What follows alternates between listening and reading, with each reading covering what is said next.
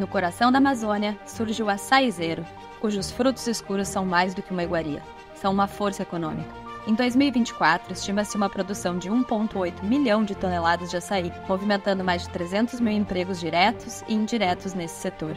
Mas há um desafio: o resíduo do açaí. Anualmente, mais de 800 mil toneladas de resíduos são descartados inadequadamente nas ruas de Belém, ameaçando a saúde pública e o meio ambiente. O nosso projeto Açaí Green, uma parceria entre a MOS, uma das maiores empresas de carbono do mundo, e a WGP, através de tecnologia de ponta, transformará 100% dos resíduos do açaí em biochar, extrato ácido e bioóleo, e em mais de 300 subprodutos, tais como fertilizantes, melhoradores de solo e fontes de energia térmica renovável, impulsionando a agricultura sustentável e contribuindo para a redução das emissões de carbono, enquanto promove uma economia circular e beneficia o meio ambiente, a população local e a economia regional. Com o uso de alta tecnologia, o nosso projeto visa preservar o meio ambiente, além de proporcionar uma economia de mais de 30 milhões de reais por ano em gestão de resíduos, gerando 30 milhões de dólares em receitas anuais pela venda dos bioprodutos,